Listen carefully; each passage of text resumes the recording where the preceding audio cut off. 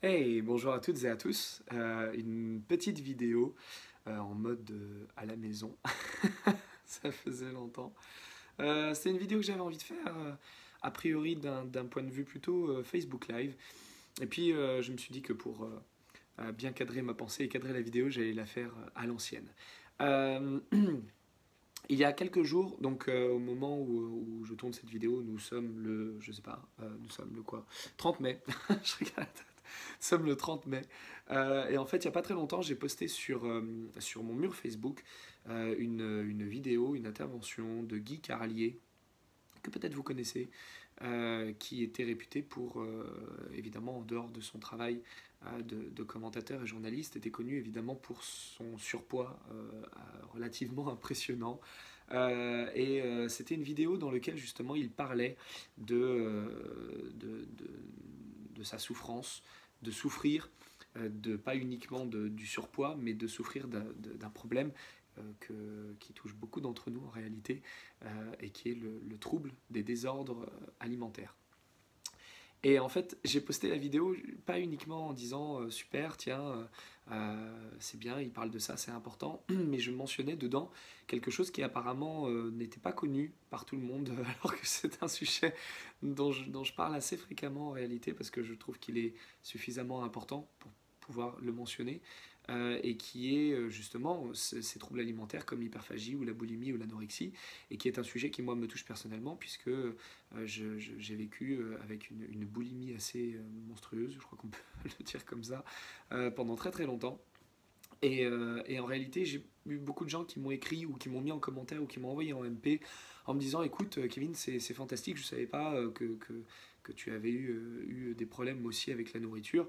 Euh, comment tu as fait pour en sortir Comment tu as fait pour, euh, pour aller mieux Et en fait, c'est un sujet, je me suis dit, qui méritait peut-être de faire une vidéo. Donc, donc voilà, je, prends un peu le temps pour, pour vous présenter ça. C'est un sujet qui est beaucoup plus, je crois, malheureusement populaire qu'on ne le pense. Quelque chose qui touche beaucoup de monde. Euh, qui moi m'a touché pendant longtemps et me touche toujours personnellement d'un point de vue euh, point de vue intime c'est un, parcours qui est pas évident euh, et du coup je me dis tiens bah, si ça peut aider ne serait-ce qu'une personne eh ben, c'est très bien j'espère que les, les, petites les petites choses dont je vais vous parler peut-être vous aideront aussi ou pas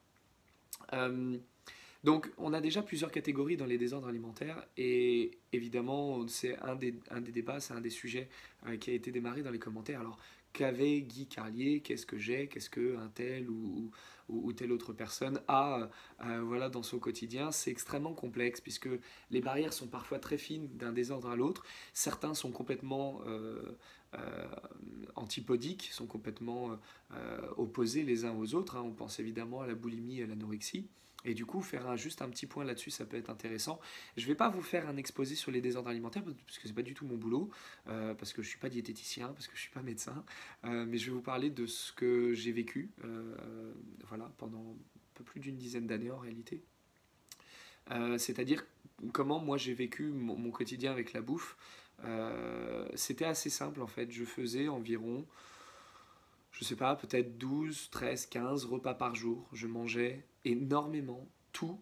Euh, je, alors c'était avant que, je devienne euh, végétarien, enfin j'ai été vegan pendant 8 ans, après végétarien, enfin j'ai été végétarien puis vegan pendant 8 ans, j'ai été, euh, j'ai été un peu exclusif au début dans, mon régime. Vraiment, j'étais hyper dur avec moi-même. Ça m'a posé beaucoup de problèmes parce que je finissais finalement par en vouloir à mon régime végétarien. J'en voulais presque aux animaux, alors qu'en ça n'a évidemment aucun sens. Euh, et du coup, je, voilà, j'avais plutôt tendance à m'orienter maintenant vers, un flexitarisme qui fait que du coup, je mange pas de viande. Et puis, si jamais je vais chez des gens et qu'on me propose, on propose de la viande, dans ce cas-là, je, je, fais le garçon poli et puis je, je, mange, mais en dehors de. Enfin, chez moi, par exemple, vous allez chez moi, vous ne verrez pas de viande. Je mange quasiment que des fruits et des légumes. Je suis assez, euh, assez, euh, assez carré là-dessus. Mais donc du coup, à quoi ressemblait moi mon, quotidien? Voilà, c'était 10-15 repas par jour et c'était tout. C'était de la viande, c'était du fromage, c'était euh, des pâtes et des frites. Je pouvais me relever à 2, 3 heures, 4 heures du matin pour me faire des pâtes ou des frites. Euh, c'était euh, la boîte de cassoulet ou de, ou de raviolis froids, comme ça, à même la boîte. c'était des restants de lasagne de 3 jours avant et ça ne me dérangeait pas, tant qu'il en restait. C'était des bonbons, c'était des gâteaux, c'était absolument tout, tout, ce qui pouvait me passer sous la main euh, est vraiment des choses euh, des plus étranges ou plus incongrues. Et en fait, à un moment donné, euh, on a une espèce de... Enfin, moi, j'ai vraiment eu cette espèce de recul un peu étrange. Où, à un moment donné, je me suis rendu compte, parfois des mélanges en fait que j'étais en train de faire, c'est-à-dire je mangeais un morceau de chocolat, et puis après c'était une bouchée de, ravioli, et puis après c'était les cannelloni, et puis après je mangeais des bonbons, et en fait tout se mélangeait comme ça, et on se dit mais ça n'a vraiment aucun sens d'un point de vue culinaire. Et en fait, c'est très con, mais juste le fait de se rendre compte de, du côté euh, euh, complètement absurde, de l'absurdité, de l'absconsité du mélange culinaire qu'on est en train de faire, j'ai vraiment eu une espèce de recul comme ça, je me suis dit, ça marche pas en fait. Et j'ai eu un... À l'époque, je vivais chez mes parents, j'ai vraiment eu une, baffe en fait, j'ai vraiment, vraiment pris une, claque à un moment donné où je, j'avais vidé les placards, évidemment, mes parents très polis n'avaient rien remarqué, ou alors n'avaient vraiment, vraiment rien remarqué, je ne sais pas. c'est quand on a abordé la discussion, ça n'avait pas eu l'air de, les avoir euh, autant choqués que ça, donc je pense que j'étais suffisamment discret. Mais je me suis retrouvé en fait euh, en pleine nuit, un soir, euh, vers, je sais pas, peut-être 2-3 heures du matin, à me retrouver devant un frigo vide et devant un placard vide, parce que j'avais évidemment littéralement vidé ce qui s'y trouvait, et ce qui pouvait passer pour étant, pour, pour ma famille, pour étant, c'est bien, il a une bonne santé, il mange bien, c'est bien, il prend soin de lui ne, ne, en fait, ne révélait absolument pas du tout ça, puisque j'allais faire mes repas, et puis après, j'allais très gentiment direction euh, les toilettes pour aller me faire vomir 10, 12, 15 fois par jour, jusqu'à ce que je me sente entièrement vide, autant que faire se peut, avant de pouvoir recommencer derrière. Euh, et en fait, un soir, je me suis je me suis retrouvé. Alors même le fait d'aller se faire vomir n'a pas été un déclic, c'était pas suffisant. Euh, et ça, ça c'est très important. Je tiens vraiment à insister là-dessus parce que on se dit des fois, mais Enfin, tu te rends pas compte que tu fais ça et tu fais ça et ça te choque pas Eh bien non, ça, ça choque pas. Ça choque pas toujours. Et puis des fois ça choque. Et puis le fait que ça choque, c'est pas suffisant non plus. Et en fait, moi j'ai vraiment eu une espèce de déclic à un moment donné où je me suis retrouvé devant ce frigo et ces placards vides. Et en fait, j'ai eu une espèce d'énorme colère. Et je suis très content parce que Guy Carlier en parle dans la vidéo de cette colère qu'on peut avoir envers les autres. Et en fait, je me suis retrouvé à taper du pied par terre, à taper dans les meubles, à me mettre à pleurer, mais c'est frénétique, c'est en, quelques secondes, c'est-à-dire en, un instant, on passe d'un Homo sapiens à véritablement euh, une espèce de dragon, on est gorgonesque. Et ça ne prévient pas, ça vient soudainement comme ça, de manière violente, de manière brutale, et on n'est absolument plus euh, euh, l'individu que nous sommes en temps normal. On, est complètement, on est complètement transformé, on est complètement différent en ce moment. Excusez-moi, je prends un petit peu de thé parler des désordres alimentaires et puis se faire une petite tasse de thé, je trouve que c'est quand même relativement adapté, donc tout va bien. Et donc, moi, voilà ce que, ce que j'en ai vécu pendant une dizaine d'années, c'était ça, c'était manger, manger, vomir, vomir, manger, manger, vomir, vomir. Et on peut se demander évidemment pourquoi, enfin, euh, évidemment, c'est logique, on mange, on mange, et puis on n'a pas envie de grossir, on va rejeter. C'est pas aussi simple que ça en réalité. Évidemment, on a le contrôle du poids, on a cette espèce d'obsession qui est évidemment euh, très euh, propre au conditionnement socioculturel que nous avons aujourd'hui, où euh, si on est gros, c'est pas bien vu, c'est dangereux, c'est pas bien pour la santé. Puis voilà, comme tout le monde, je sais que je vais mourir un jour, mais si je peux mourir le plus tard possible et puis surtout en bonne santé, personnellement, ça m'irait très bien. Donc du coup, évidemment, le fait de manger n'était pas une bonne chose. Mais en réalité, dans mon comportement, c'est pas le cas de tout le monde, parce qu'on est tous un peu différents. Mais dans mon cas, le comportement était beaucoup plus pernicieux. J'avais le plaisir de manger et le fait à un moment donné d'être plein, parce que vraiment on est plein à ce moment-là, soyons clairs, on n'est pas du tout un, organisme, on n'est pas un humain, on est un fût, on est une barrique, on est une outre et il faut la remplir. Euh, et tant que c'est pas entièrement plein, en débordé, hein, comme disait un de mes ex, j'ai les dents du fond qui baignent, on n'est pas très loin de ça, hein, très honnêtement. Euh, si tant est qu'on arrive encore à respirer. Euh, en fait, tant qu'on n'est pas plein, ça ne marche pas. Et en fait, tant qu'on peut manger, manger, manger, on a le plaisir de manger. Et moi, dans mon cas, c'était ça qui était vicieux, c'était que je, me vidais, c'était pas uniquement d'un point de vue euh, poids, c'était vraiment parce que je voulais remanger derrière. J'avais cette espèce, c'est ce que j'explique sur, euh, sur sur le, statut sur Facebook, je, me sentais vraiment comme ce tonneau des Danaïdes qui n'était euh, jamais suffisamment rassasié et quand il l'était trop, il fallait le vider et quand il était vide, il fallait le remplir. Et rien ne contentait, rien. Le sucre, le gras, le, salé, l'épicé, tout, tout, je mélangeais tout et rien ne me donnait euh, cette satisfaction. Et donc évidemment, euh, moi je suis parti un peu à droite à gauche, j'ai fait des études euh, de nutrition, je fais des études de psychologie, de biologie, je, suis allé chercher plein de choses. Et puis finalement, euh, on a toujours cette, interrogation, on se dit, c'est quoi l'origine de ça? Il y a un problème. Évidemment, moi dans les formations thérapeutiques que j'ai fait, le but c'était de retrouver justement l'origine en se disant, tiens, ça va peut-être soulager le problème. Et puis en fin de compte, on retrouve des origines et puis ça soulage absolument pas le problème on va chercher, alors c'est quoi? C'est un problème avec la mère, c'est un traumatisme dans l'enfance, c'est, euh, on trouve alors mille et une raisons. Moi, j'ai toute une, biographie. j'ai un, rouleau de parchemin de 12 000 mètres de long d'origine, euh, pouvant éventuellement légitimer ça. Hein. des choses vécues dans mon enfance, au moment de la naissance, au moment de la gestation, au moment de la conception, dans les bagages héréditaires, dans les vies antérieures, dans les programmes d'incarnation. J'en ai trouvé des causes. Des, tu es venu au monde pour souffrir avec la nourriture parce que, parce que, je crois qu'à un moment donné, il faut arrêter de se branler l'esprit comme ça, parce que ça n'avance à rien en réalité. Euh, on fait juste que se dire Ah, le karma a été vraiment pot de vache avec moi, on s'en fout. En réalité, on s'en fout complètement. Donc du coup, après l'origine, moi j'ai essayé de trouver une cause, c'est-à-dire une condition, c'est-à-dire quelles sont les conditions qui, une fois réunies ensemble, font que d'un coup, bah, tac, le truc se démarre, et puis... Parce qu'évidemment, c'est pas en continu, c'est pas à longueur de journée. Alors, le sujet de la bouffe est quelque chose qui suit à longueur de journée, c'est-à-dire que moi, personnellement, j'y pensais du matin au soir. Je ne pensais qu'à la nourriture. C'est un sujet obsessionnel qui reste, qui part, qui revient, qui me laissait des, petites pauses de 2, 3, 4 minutes, pas plus, et puis tac, le sujet revenait, c'est-à-dire je ne pensais à rien d'autre qu'à ça. Mais il y avait toujours des, espèces de, conditions, des causes spécifiques qui faisaient que, paf, d'un coup, ça déclenchait, et puis je, je démarrais ma crise de boulimie, je mangeais, mangeais, mangeais, mangeais en permanence. Et alors, j'ai trouvé des causes, j'ai trouvé des moments, par exemple des moments où je m'ennuie, des moments où je suis seul, des moments où j'ai pas de travail à faire, des moments où euh, je, je, Alors, on m'a dit, mais c'est peut-être parce que t'es pas heureux en amour. Alors, quand j'étais malheureux en amour, je bouffais comme 12. Quand j'étais heureux en amour, je bouffais comme 12. Quand je me faisais jeter, je bouffais comme 12. Et quand je jetais la personne, je bouffais comme 12. Ce qui fait qu'au final, on se dit, bon, c'est pas dit que ça soit entièrement valable comme raison. Et le fait est que voilà, ça restait assez vain. Euh, j'ai vu des choses qui effectivement me permettaient de, me rendre compte qu'il y avait des déclencheurs. je crois que le, pire de tout, c'est encore l'ennui. Quand on n'a rien à faire, on est devant l'ordinateur, on s'emmerde. Euh, ça part direct. En plus, moi, c'était, j'étais à l'ordinateur, mais j'avais trois paquets de gâteaux, j'avais deux bouteilles de coca. Enfin, c'était, épouvantable. Euh, oui, parce qu'en plus de ça, j'avais l'idée que le coca étant tellement acide, ça allait peut-être faire fondre la bouffe, et du coup, ça me permettrait de l'éliminer plus rapidement. Grossière erreur.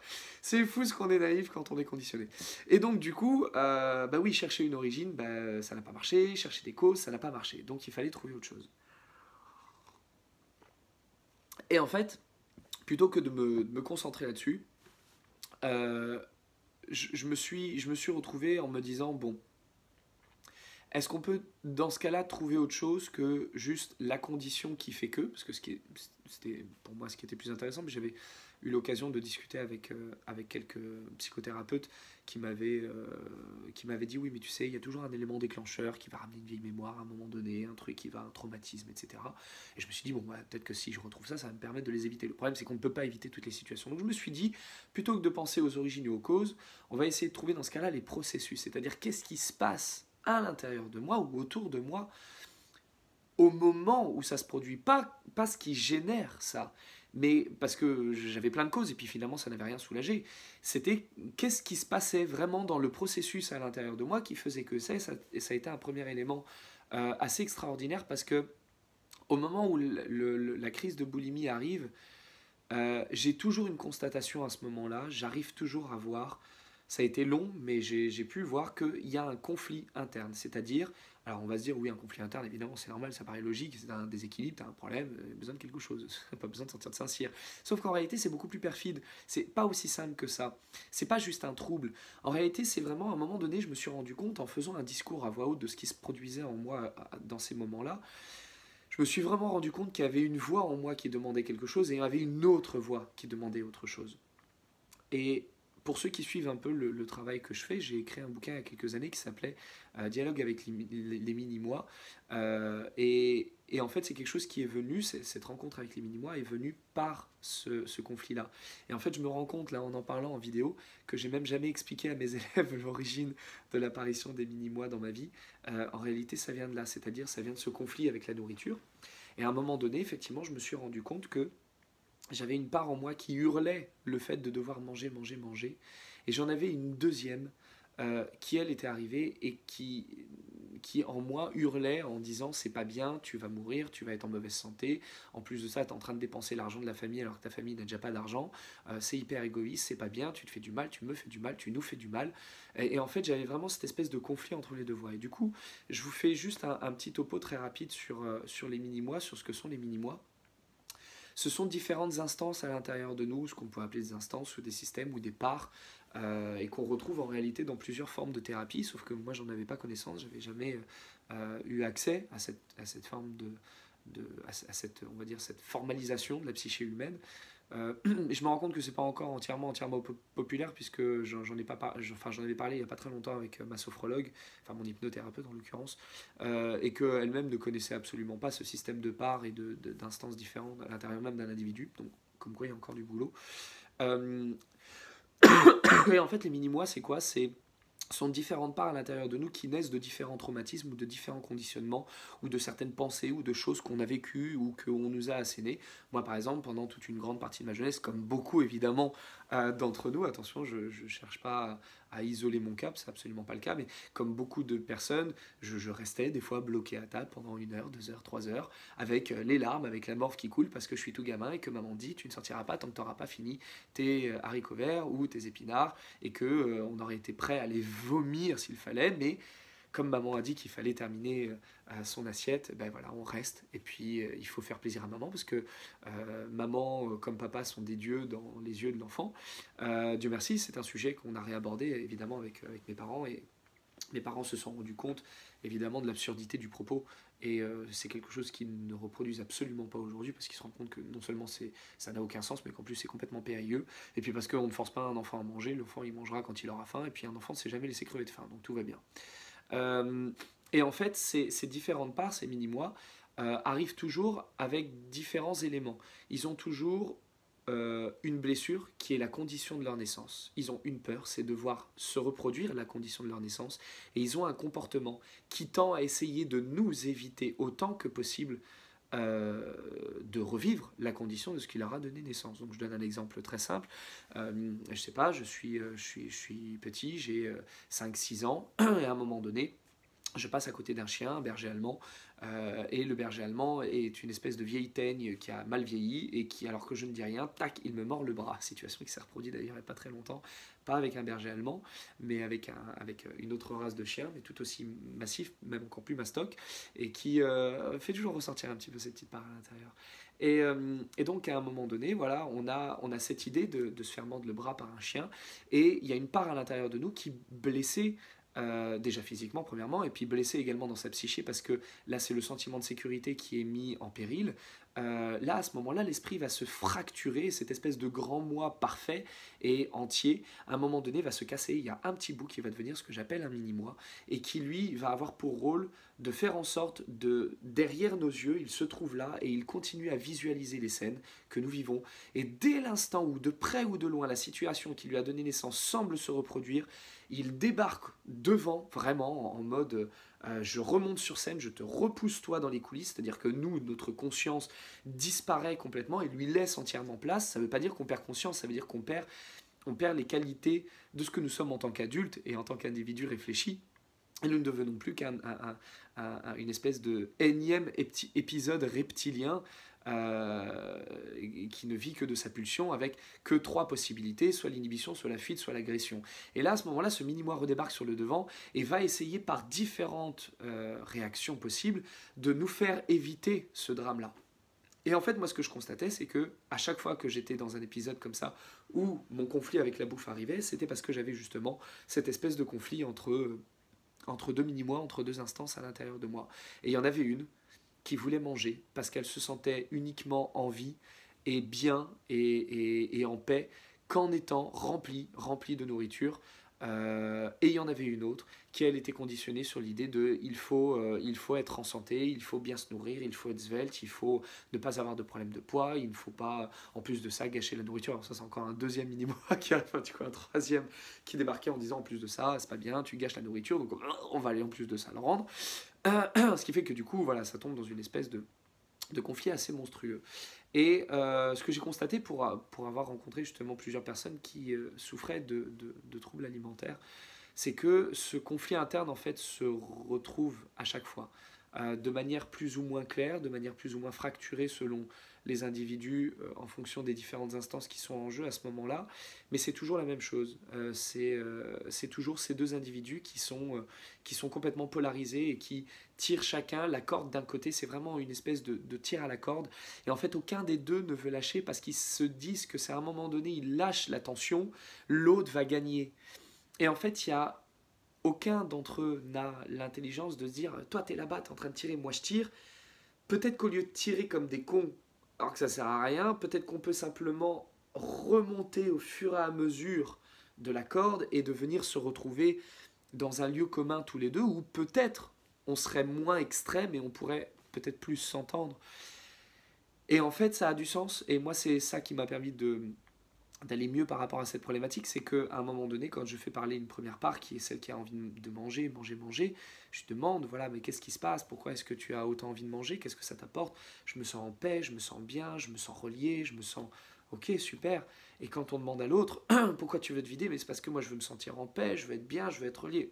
Eh, les mecs, c'est quand même assez rigolo. Vous voulez la même chose, mais c'est juste que vous tirez chacun d'un côté. Et si on, se mettait tous les deux au même endroit, si vous vous mettiez au même endroit et qu'à ce moment-là, on, établissait un plan commun, et alors évidemment, moi je le raconte comme ça avec beaucoup de, désinvolture et de légèreté, mais euh, faut pas croire, c'est un, processus qui prend du temps, ça prend des années, euh, et il y a toujours un moment donné où euh, il y a un débordement, il y a un des deux qui tape sur l'autre.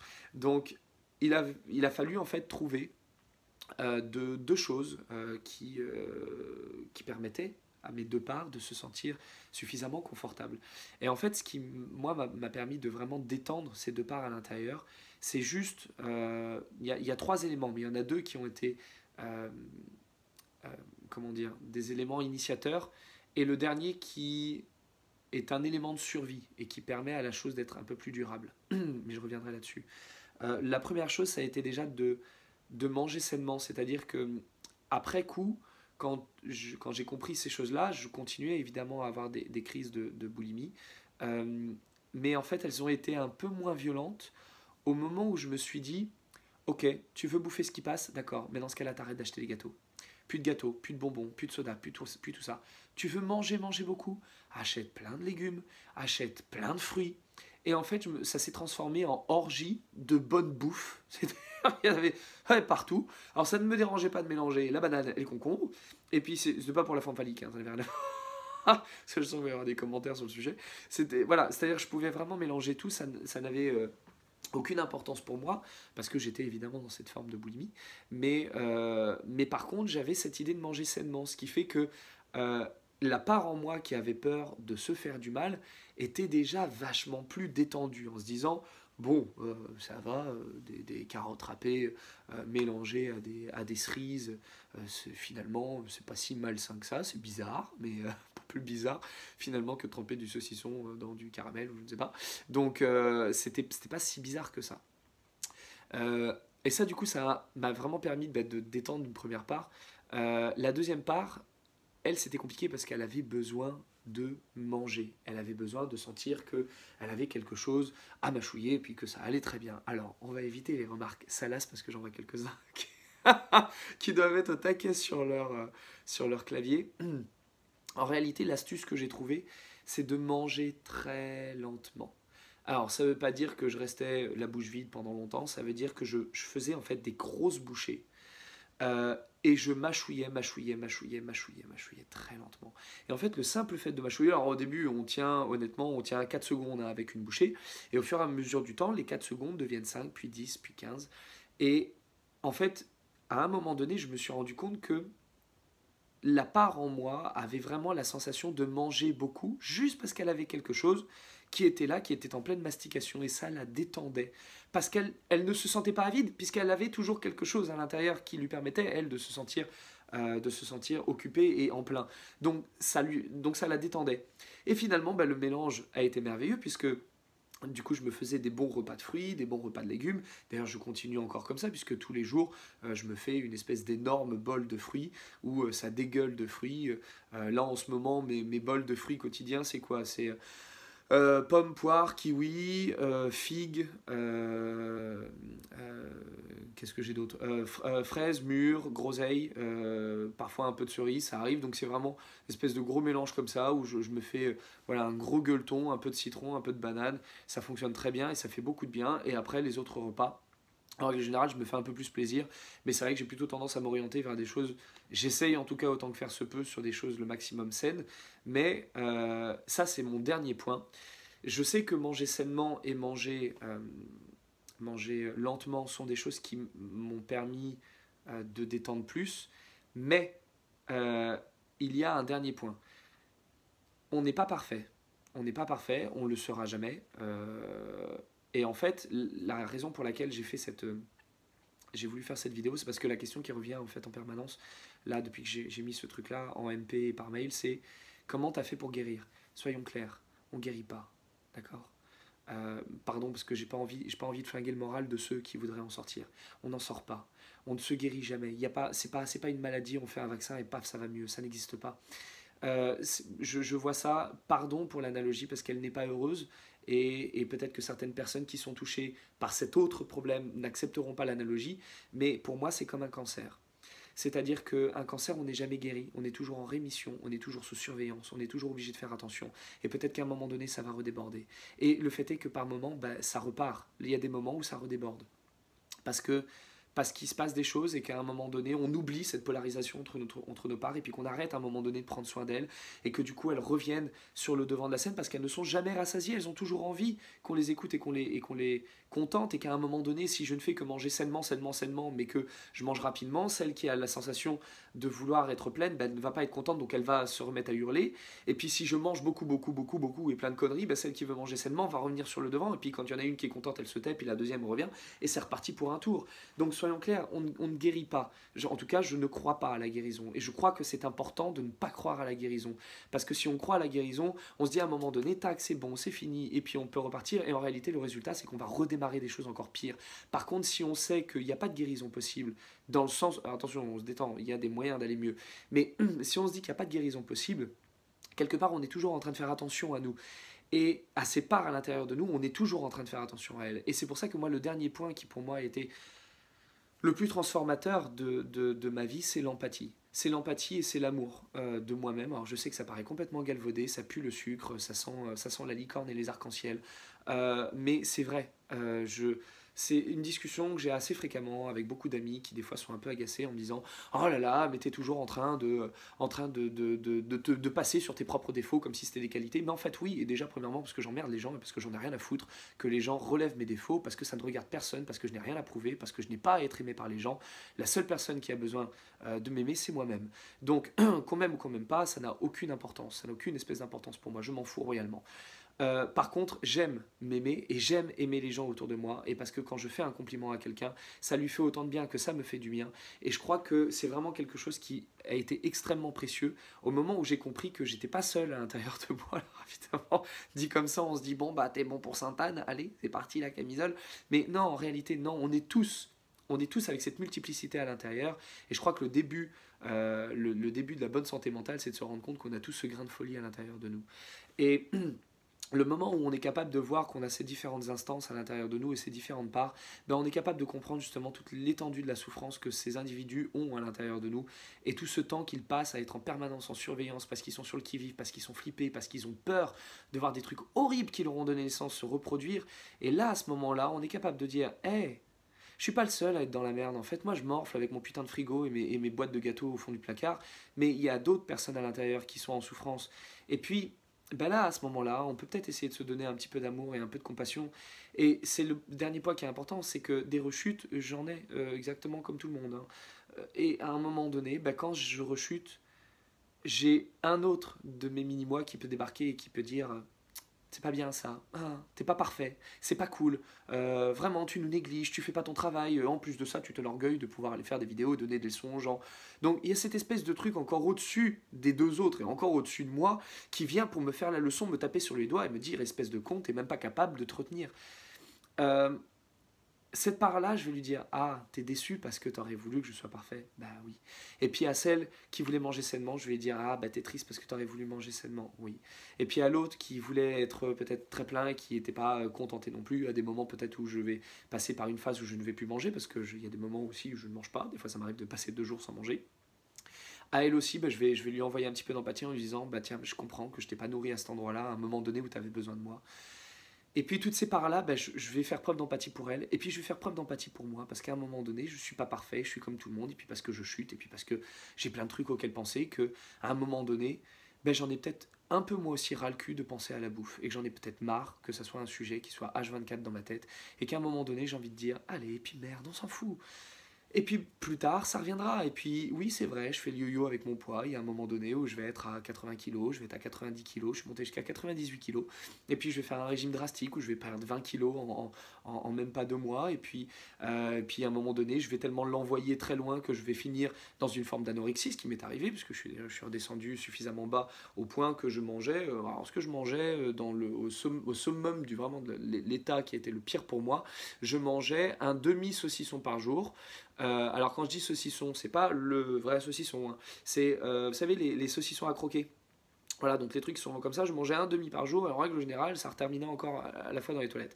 Donc c'est pareil, je suis passé dans l'extrême opposé encore, et aujourd'hui, si on me demande est-ce que c'est terminé, je serais incapable de dire que c'est terminé, parce qu'il y a des moments où des fois je suis au resto, où je suis devant ma télé, où je suis avec des amis, et puis je mange, mange, mange, et je sens qu'il y a la part en moi qui, une, pas celle qui avait envie d'être pleine, parce qu'elle, du coup, elle est très contente, mais une autre, celle qui veut justement que, que je sois sain et que je prenne soin de moi, qui arrive, mais sur le devant, en hurlant, mais stop, arrête-toi, qu'est-ce que tu es en train de faire? Et là, j'ai vraiment cette espèce de recul parce que maintenant je suis habitué à les entendre qui fait wow, ok, on se détend tout de suite, on arrête maintenant, on termine à l'eau, on ne mange plus rien. Euh, et c'est encore pas bien parce que je suis en train de refaire souffrir la première part qui avait envie d'être pleine, mais à un moment donné, je peux pas faire autrement. La seule chose que je peux dire, c'est Là, ouais, il y a eu un débordement. Là, il y a eu un dérapage. Et je peux que utiliser ben, un système de secours à cet endroit-là. Donc, est-ce que, ça se soigne? J'y crois pas, j'y crois absolument pas. Et du coup, ça m'amène à autre chose. Euh, ça m'amène sur le point des addictions en règle générale. Excusez-moi, je reprends un coup. Un petit rooibos vanille des îles. Je ne vous dis que ça. Euh, concernant les addictions, on peut avoir plein d'addictions. On peut avoir des addictions euh, à l'alcool, à la cigarette, à tout un tas de drogues, à tout un tas de choses. Euh, je, pense déjà que cette addiction de l'hyperphagie ou de la boulimie, à mon sens, est la pire de toutes au monde. Euh, navré pour les cocaïnomanes, pour les héroïnomanes, etc., qui pensent que c'est difficile. Je pense que c'est difficile les différentes addictions qu'on peut avoir et je ne vais en minimiser aucune. Mais si vous arrêtez l'héroïne, vous arrêtez l'héroïne et tout va très bien. Si vous arrêtez l'alcool, vous arrêtez l'alcool et tout va très bien. Si vous arrêtez la cigarette, vous arrêtez la cigarette et tout va très bien. Si vous arrêtez la nourriture, vous mourrez. Ce qui fait que tous les jours, en permanence, un drogué à la nourriture est tout le temps, tout le temps, tout le temps, et plusieurs fois par jour, confronté aux fruits de son addiction. Tous les jours, il est mis devant tous les jours, il est obligé de se raisonner. Il n'y a pas un moment où il va pas dire bon allez aujourd'hui, demain, j'achète pas de nourriture. On verra la semaine prochaine si j'arrive à tenir. Non, non, on crève, c'est très simple, on crève. Donc à un moment donné, cette, addiction, euh, elle, a un grade qui est infiniment plus fort que les autres. C'est que non seulement on va en souffrir physiquement, on va en souffrir émotionnellement, on va en souffrir également psychiquement par la pression sociale autour de gens qui ne comprennent pas, et je n'en veux pas aux gens de ne pas comprendre, parce qu'on ne comprend pas, on comprend pas, c'est comme ça. Euh, si vous n'avez pas appris une langue, vous ne pouvez pas la comprendre, si vous n'avez pas vécu une addiction, vous ne pouvez pas la comprendre. Euh, mais c'est extrêmement compliqué aussi, parce que justement, on est tous les jours confronté à ça, et on nous le met sous le nez, et puis, et puis c'est partout, c'est partout, vous allez prendre le bus, vous avez une publicité McDo, sur l'arrêt de bus. McDo, on le sait, c'est de la merde. On passe devant, on a beau détester ça, on a envie. Et puis avant d'aller prendre le métro, on fait un crochet par Burger King, on se prend deux burgers, puis finalement un troisième parce que finalement la route est longue, puis on va peut-être se prendre quand même un cornet de frites parce qu'on ne sait jamais. Et puis c'est reparti de plus belle. Et en réalité, on n'en sort pas, on ne sort pas de ça parce que on parle de bouffe partout. Vous allez dans les magasins, ça dégueule. Vous allumez votre télé, il y en a partout. Sur Internet, les publicités sur les côtés, c'est partout. Et aujourd'hui, encore plus de ça, c'est encore plus facile, puisqu'on n'a même pas besoin de sortir de chez soi pour se faire livrer. On appelle à le resto, euh, Deliveroo ou compagnie, et puis vous avez 30 minutes après quelqu'un à votre porte avec un énorme repas que vous, avez, que vous avez payé en plus a priori à distance, c'est-à-dire par carte bleue ou par PayPal, ce qui fait que vous ne voyez même pas l'argent sortir de votre portefeuille, ce qui fait que vous n'avez même pas la conscience d'avoir donné quelque chose en échange, ce qui fait qu'on a l'impression psychiquement que c'est tout bénef. Et cette addiction, pour moi, c'est vraiment celle qui est au top, vraiment celle qui est au sommet. Et le truc, c'est que le, le, deuxième point, c'est qu'à mon sens, une addiction, on ne guérit pas une addiction. Une addiction, c'est une énergie qui se manifeste d'une certaine manière. Et cette énergie, quoi qu'on fasse, elle a besoin de sortir et elle a besoin de s'exprimer. Et la seule chose qu'on peut faire, c'est un peu ce qu'on voit, euh, par exemple, dans, la psychanalyse, alors ça, sous pour, une autre forme, mais j'ai repris le mot, ce qu'on appelle un déplacement. Un déplacement, c'est-à-dire qu'au lieu de mettre notre énergie quelque part, on va la mettre sur quelque chose d'autre qui va avoir du rapport. Et en fait, cette énergie de l'addiction, on va la mettre quelque part ailleurs. Et certaines personnes, par exemple, qui arrêtent de fumer, vont se remettre beaucoup à manger. Alors ils vont dire oui mais c'est normal, c'est parce que euh, on retrouve les goûts, on retrouve les saveurs, ou c'est parce qu'on s'ennuie. Non, en réalité, c'est juste parce que votre énergie addictive, elle est passée ailleurs. C'est tout. Combien de personnes qui arrêtent de fumer se mettent au sport? Combien de personnes qui arrêtent le sport se mettent à la bouffe? Combien de personnes qui arrêtent la bouffe et se mettent au sport? C'est simplement parce qu'à un moment donné, cette énergie qui est là et qui est en nous, hein, euh, qui est en, réalité une énergie, une énergie de libido. Alors la libido, c'est pas la sexualité, c'est le plaisir. Elle a besoin quelque part, en un sens, de se manifester ailleurs. Et donc elle va aller trouver un autre objet. Et alors, du coup, cette addiction à la nourriture, on peut la transférer sur plein de choses. Ça peut être euh, le sport, ça peut être, euh, euh, ça peut être le sexe, ça peut être les loisirs, ça peut être les arts, ça peut être le travail. Personnellement, j'ai tout fait. Je suis passé par le sport, je suis passé par le sexe, je suis passé par les arts et les loisirs, faire la musique, faire du chant, etc. Et en réalité, mon dernier point, et c'est celui sur lequel souvent on me le renvoie en me disant écoute, euh, tu cours tout le temps, tu es toujours en train de faire plein de trucs, euh, t'as pas envie de choisir ou t'as pas envie de te reposer, t'as pas envie. Non, parce que mon addiction, mon énergie addictive, elle passe dans le boulot. Pourquoi est-ce que je passe mon temps à tartiner des articles, des bouquins, faire des vidéos, donner des cours, aller à droite à gauche? C'est parce qu'à un moment donné, juste à un moment donné, si je m'arrête, je bouffe. Et si je bouffe, c'est reparti. Ou alors, je suis obligé de faire autre chose. Donc c'est soit je travaille pas, dans ce cas-là, je bouffe pas, il faut que je fasse du sport, il faut que je baise, il faut que je chante, il faut que je joue, il faut que je dessine, il faut que je... Voilà, il y a besoin de faire quelque chose à un moment donné.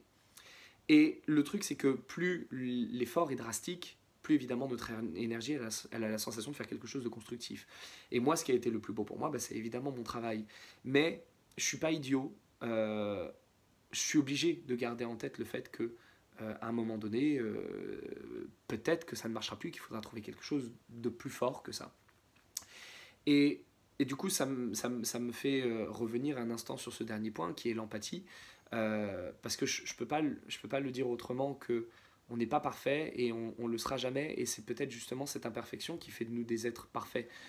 Euh, le moment où on est capable de dire bah, je suis pas parfait mais je suis, je, suis ok avec ça, ça va, il n'y a, a, pas de souci, puis, puis après tout ça pourrait, ça pourrait être pire. Il y a quelque chose en nous qui va forcément se détendre, et moi il y a quelque chose qui m'a beaucoup détendu, c'est à un moment donné euh, où j'ai eu, eu, une rechute assez, euh, assez forte. À l'époque, euh, je, travaillais, je travaillais au théâtre et j'ai vraiment eu une rechute assez monstrueuse. Et je m'en suis voulu parce que j'étais en, plein boulot, c'était un travail très dur, je travaillais à Mogador, il fallait chanter, il fallait danser, j'avais besoin d'énergie, j'avais besoin de mon souffle, j'avais besoin que mon corps soit vraiment, vraiment bien pour pouvoir faire mon boulot. Et je, et je m'en suis voulu, je m'en suis flagellé, et en fait, euh, ça n'a absolument pas solutionné. Et à un moment donné, j'ai vraiment une voix à l'intérieur de moi qui a débarqué et qui a dit euh, T'as pas réussi à échapper à ça Non, j'ai pas réussi à échapper à ça. Est-ce que tu es capable euh, d'accepter que tu te sois planté? Non, je ne suis pas capable d'accepter que je me sois planté. À ce moment-là, c'est impossible. Je m'en veux parce que j'ai un contrat, parce que je suis en boulot. Je dois y arriver.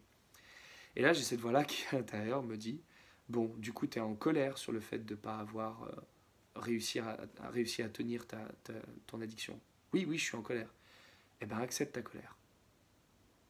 Et je me suis dit, mais je suis pas censé, euh, pas censé plutôt accepter euh, le fait d'avoir chuté et puis du coup de me détendre et puis de non, accepte ta colère, accepte d'être plein de rage. Et en fait, ça s'est vraiment, c'est sorti en explosion, vraiment de rage et de colère. Et je me suis dit, fais-toi plaisir, sors ta colère. Et en fait, maintenant, quand j'ai un débordement et que je repars dans mon addiction, si après coup je sens que vraiment je suis plein de rage après moi, je m'autorise à être en rage. Parce que c'est le seul moyen que je vais avoir de, de, de ressortir tout ça. Et parce que si je n'autorise pas ma colère, en fait, je vais la remettre contre moi. Et je vais rebrutaliser mes différentes parts et je vais à nouveau euh, ne plus manger, je vais à nouveau faire en sorte de me, revider un maximum et c'est pas du tout une solution. Donc je peux pas, euh, je peux pas guérir ça, je peux pas solutionner ça. Et je vous dis pas que c'est pas possible pour vous, j'en sais rien, je suis pas, je suis pas voyant, je suis pas devin, mais euh, mais je sais que moi, je ne sais pas quelque chose que j'ai réussi à, guérir, mais c'est quelque chose par contre que j'ai vraiment pu détendre, euh, qui est aujourd'hui euh, euh, quelque chose qui est réglé à 95%. Et je pense que j'ai envie de garder ces 5 derniers pourcents parce que c'est ceux qui m'obligent justement à faire attention à moi, à faire preuve d'un peu d'empathie, et puis à pas m'oublier, à pas oublier ces parts à l'intérieur de moi, et puis à faire ce qui agace profondément mes amis, ben, c'est de faire preuve d'un très grand amour pour moi. N'en déplaise à ce que chacun peut penser. Euh, mais bon, mes amis m'aiment aussi pour ça, je crois. Et puis je crois que je les aime également pour ça. C'est pour euh, cette désinvolture qu'ils peuvent parfois avoir face à l'agacement profond qu'ils peuvent ressentir lorsque je me fais un compliment. mais c'est important, je crois, de se faire des compliments. Donc faites-vous également quelques-uns. Soyons clairs, personne ne peut nous aider si on n'a pas de l'amour pour nous. Il n'y a personne qui peut nous sortir de ça. Il n'y a que nous pour nous sortir de ça. Mais tant qu'on considère qu'on est seul avec cette histoire, on ne peut pas y arriver. Mais dès l'instant où on comprend qu'on n'est pas seul à l'intérieur de nous et qu'on a différentes instances qui sont, elles, en souffrance, nous, on va bien au final. On est juste spectateur euh, un peu, un peu là et, un peu euh, désabusé de ce théâtre qui se joue en arrière-plan. Euh, le moment où on est capable de comprendre que, que bah, qu'on est capable d'aider ces comédiens en nous qui sont complètement paumés. Pardon, je refais l'analogie du théâtre, mais c'est parce que c'est ce que j'avais utilisé comme analogie dans, mon bouquin. Euh, quand on a compris qu'on peut être là pour, pour ces différentes parts à l'intérieur de nous, bah, on n'est plus seul à ce moment-là, on n'est plus paumé avec, euh, avec cette addiction, puis on est capable de discuter avec ces individus. Et ça, c'est autre chose, par exemple, qui m'a aidé. C'est à un moment donné, quand je sentais que j'avais une part qui voulait, voulait, voulait manger, et que moi, je sentais bien que j'avais pas faim, que j'avais juste envie de manger en réalité, je disais, ok, on prend juste deux secondes, on s'assoit un instant, on va aller manger, il n'y a aucun souci, tu vas avoir à manger, sois détendu. Juste raconte-moi un peu, tu aimerais manger quoi Et pourquoi tu aimerais manger ça Et qu'est-ce que ça te ferait de ressentir ça Et puis est-ce qu'on peut se visualiser en train de manger ça? Et en fait, j'ai constaté que juste le fait de faire cet exercice, ça diminuait déjà grandement mon envie de manger parce que mon esprit était déjà mentalement en train de manger. Et ça, j'aurais pas pu le faire si j'avais pas eu d'écoute, si j'avais pas eu d'empathie, si j'avais pas eu de patience. Et il n'y a rien de plus précieux que ça. Donc euh, essayons de nous en donner un peu, je crois qu'on en a besoin. On en a tous besoin, surtout dans ce monde avec euh, une espèce de diktat de il faut être comme ça et pas autrement. Et je, suis très très content en fait euh, de, de, cette vidéo faite par Guy Carlier et, que, et puis de cette idée en réalité de l'avoir postée sur mon mur parce que c'est pas quelque chose dont j'aurais parlé à la base, mais je me suis dit, je sais pas pourquoi, parle-en. Et en fait, j'ai eu mais tellement de MP, de gens qui sont dans le même cas. Je me suis dit, waouh, je pensais pas, vraiment, je pensais pas. Je sais que c'est un problème qui est de société, qui a une logique euh, même d'un point de vue euh, de l'épigénétique. Hein. Nous sommes, euh, la plupart d'entre nous sommes les petits-enfants de personnes ayant vécu la guerre et les tickets de rationnement, donc qui ont imprimé en eux les gènes du manque, qui sont des, des choses qui vont se manifester à l'intérieur de nous et qui, du coup, par crainte du manque, on remplit, remplit, remplit, remplit mais je pensais vraiment pas qu'on était autant. Et rien que pour ça, je suis, euh, je suis content d'avoir passé le message parce que du coup, on a pu se voir les uns les autres. Euh, on a pu voir qu'on n'était pas seul et euh, je, suis, je suis très heureux de sentir aussi que je suis pas seul. Je savais que j'étais pas seul, mais ça fait beaucoup de bien de, de retrouver d'autres personnes. Et puis voilà, ça c'était mes, mes petites astuces qui m'ont aidé moi à me détendre et qui m'ont permis de passer d'un état gargantuesque et ogresque au quotidien à parfois une crise une fois tous les 3-4 mois maxi. mais ça a demandé du temps, ça a demandé beaucoup d'empathie. Et j'espère que peut-être cette vidéo a pu, euh, je sais pas, ou, éclairer, ou peut-être simplement rassurer euh, au moins l'un ou l'une d'entre vous. Et puis, je vous, je ne peux pas vous dire autre chose que vous n'êtes pas seul. Donc, euh, soyez rassurés s'il y a besoin de d'en discuter s'il y a besoin bah voilà on n'est on pas on des cas isolés on peut se retrouver on peut en parler et puis, du coup, sur ces mots, je vais vous embrasser. Parce que je me rends compte que quand même la vidéo est déjà à 45 minutes. Fiche diantre. Je pensais faire une dizaine de minutes. Aïe caramba, encore raté. Euh, je vous embrasse. J'aime beaucoup ce temps passé avec vous. Je vous embrasse bien fort. Je vous dis à tout bientôt pour de nouvelles vidéos. Euh, et puis, ben, en attendant, d'ici là, prenez soin de vous. Salut